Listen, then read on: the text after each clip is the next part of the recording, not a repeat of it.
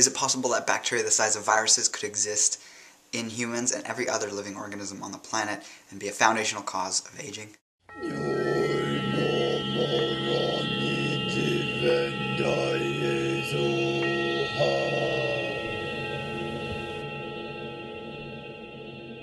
Hello, Kindred Longevity Lifestyle Designers. This is Zak here with Secrets of Longevity.com. And you may have heard different people talking about this idea of calcification before. A big proponent of the theory, which I'm going to say has gone beyond being just a theory, it's a fact at this point, scientifically speaking, is David Wolfe. Um, you may have heard him talk about these clamshells, he calls them, or uh, almost like coral reefs that build up in people on a very, very microscopic level. These things are considered to be somewhat like bacteria. They replicate like bacteria, but they're smaller than viruses. So that's very, very small, um, undetectable by most uh, standard microscopes used in basic tests done for medical health and medical testing. So there's been work that's been done by a variety of different doctors and uh, clinical uh, scientists that have looked into this issue of calcification and what's causing the calcification of various tissues throughout the body. So there's calcium deposits that build up in uh, arteries and veins going to the heart and from the heart, and there's buildup of this calcium also in joints causing arthritis. When it builds up in eyes, it's cataract. When it's in the gallbladder, it's gallstones, kidneys, gallstones. Uh, and other places of the body can also congregate around cancer, prostate cancer, breast cancer, all these things have a calcium hardening component to them.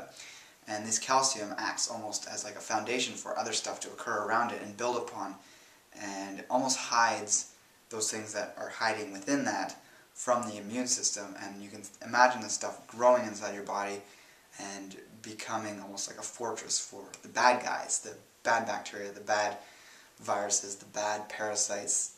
Obviously, there's not really good parasites, but all these things that are not healthy for us that want to take home in our body and start to bring our level of vitality and health down, the calcification component that takes place uh, acts as a almost like a home for these things.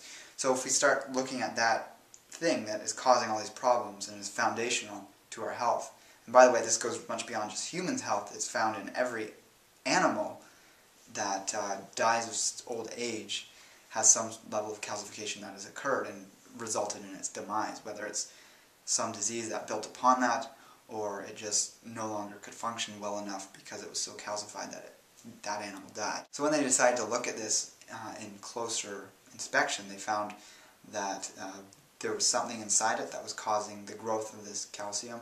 And sort of the last debate is around whether or not this thing is living in the sense of a bacteria, or if it is more like a virus. It replicates like a bacteria and behaves like a bacteria in some ways, but it's so small that it's said to be impossible for it to be alive, um, at least by conventional standards of the understanding of bacteria. So whether or not it's found out to be a living entity or a non-living thing doesn't matter because it's still been definitely proven to be happening in people and there's proven ways of clearing this stuff out. Uh, definitely check out this video which is on another channel, it's been online for a while and it's a really detailed animation of what exactly is occurring with calcification. There's this, they're basically calling it a bacteria, a nanobacteria, and they show it to be like a little green glob of something. And it forms this calcium shell around itself.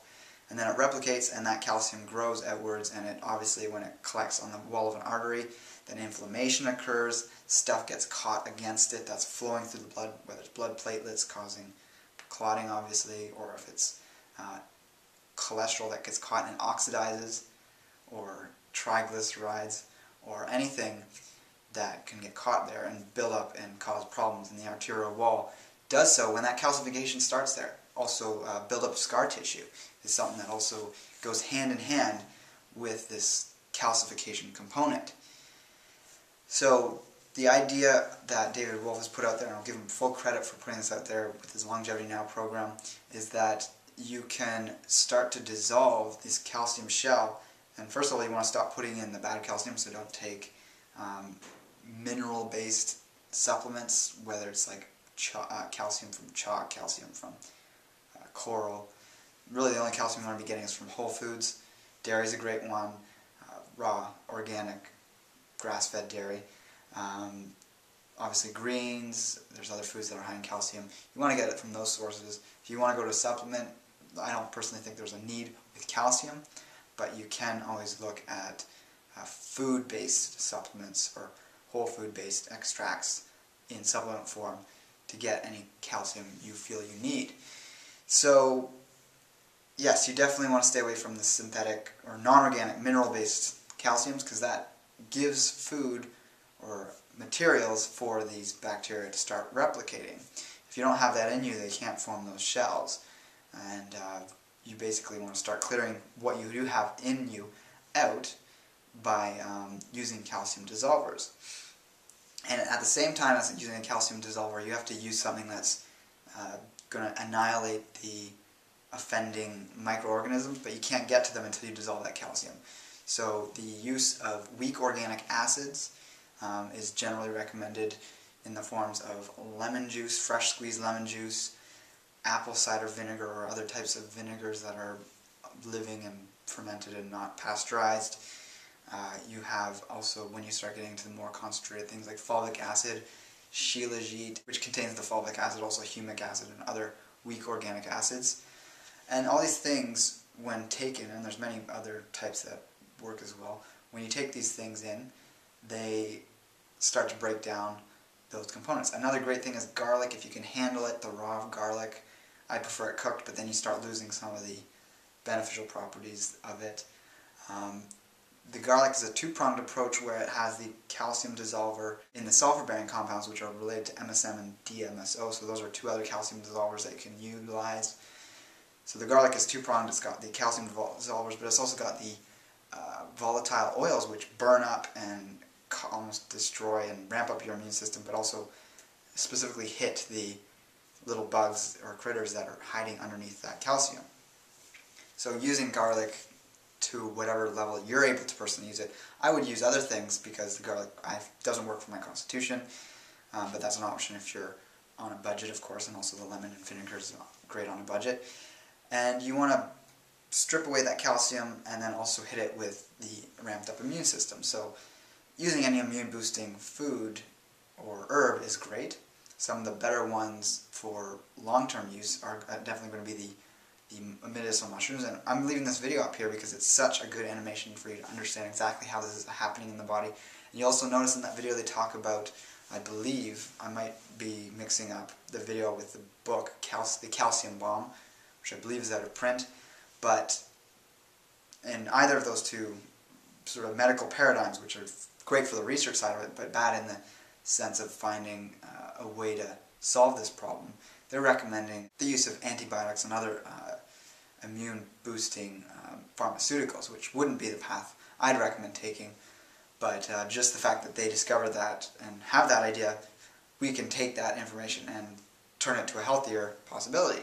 So uh, using the natural forms of that two-pronged approach of the dissolver with the immune modulating or immune boosting herb, spice, food is going to be wonderful in clearing these things out. And it's a long-term process, and you also want to do it as a preventative for future buildup of these things. And then you also get into, you need actual physical um, elbow grease or pressure to actually help accelerate the breaking down of the stuff. So that's going to a massage after you've downed a drink that has fulvic acid and perhaps some aloe vera, which is high in the MSM type compounds, and any of these other things that would help get that two-pronged approach happening in your body.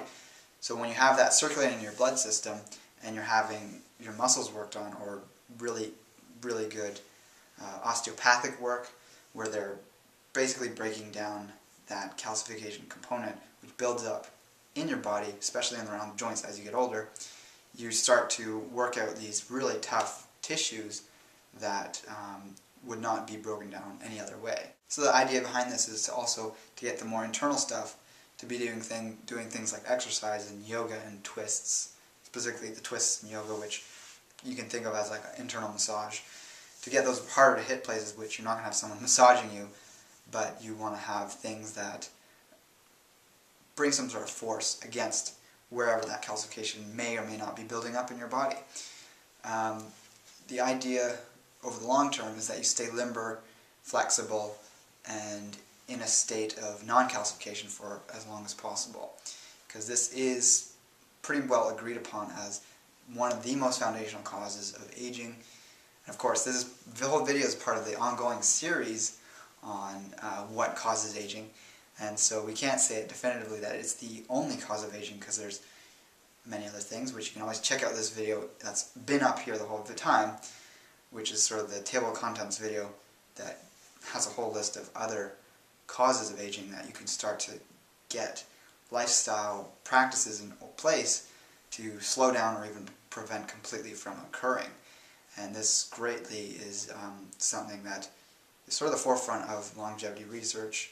It's taking these advanced medical ideas and coming at it from a more holistic point of view and using that understanding to streamline our health and really tackle things from a preventative mindset. So check below for some links for some products that can fall into these categories like medicinal mushrooms, which are great for the immune system. Definitely the number one thing for ramping up the immune system. You can get some of the other things like the weak organic acids, shilajit, fulvic acid, at the links below. And uh, definitely leave comments if you've worked with any of these things before and let me know what you think of it. Subscribe. Favorite the video if you've uh, really liked what I've had to say. And yeah, take care and embrace life without limits.